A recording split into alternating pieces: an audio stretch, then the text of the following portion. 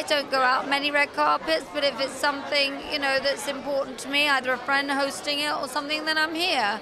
Um, and I think UNESCO is really important. I love the whole kind of feeling behind it. I just, you know, I remember reading "Teach Your Boy to Fish," and you never, uh, you know, what is that motto they have of self-sufficiency and education? So that's really important. I think Queen of the Universe is, uh, you know, a very good cause as well. I mean, it's kind of a nice thing to celebrate the beauty of women, and she works very hard at it. So that's why I'm here.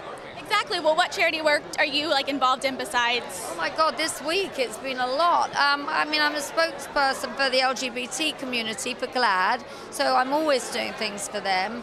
Um, I mean, I've done quite a lot for them. Um, I'm a spokesperson for NAF, National Alopecia Foundation, for children that have lost their hair, and so Giggy is a spokesperson for that because Giggy has alopecia, so he goes on the marches and and does things really to kind of cheer up the children as well and show that you can be the most famous dog in the world and have alopecia and bring a bit of levity to the situation. So we've done things like that. Um, also, I host the Hero Dog Awards um, on the red carpet, and I hosted just a benefit this week to kind of do the kickoff for the American Humane Association. So yeah, I do a lot of things, but I'm trying to run my businesses, trying to do everything else. So yeah, that's why I don't socialize much. Right. Um, well, and you're on two shows, so which one would you say has the most drama? Uh, Vanderpump Rules or The Real Housewives of Beverly Hills?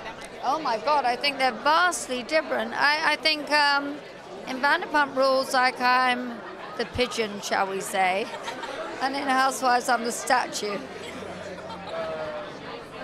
you know what I mean? Yeah. So you'd rather be watching the drama than be involved in, I guess? I'm never somebody that's kind of like looking for trouble, unlike some of my castmates, that's for sure. But uh, yeah, it got a bit too like hot in that kitchen of Housewives this this season. I left in tears one, you know, one episode.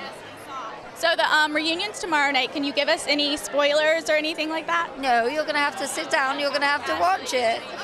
Are you going to be coming back next season? I don't know. I really don't know. I know a lot of questions have been asked, and a lot of people say you shouldn't. I hope you do. I love watching you. I think a lot of people have been. I have to say, the women were against me, but I have to say the audience wasn't, and that meant a lot to me because I felt like I was swimming alone there. So you know, the fact the audience being so supportive, uh, that means a lot. If it had gone the other way, then I don't know, but. Exactly. You showed people that everyone, no matter your age, people are bullied, and you're like a. I know. I don't like that. No, you're just there to support everyone. I'm proud to say that I would never be part of that, and I'm also proud to say that my children know better than that. So there you have yes, it. That's very good. That's the most important thing. Exactly. Well, thank you so much. Thank you so much. It's nice meeting you. Thank you.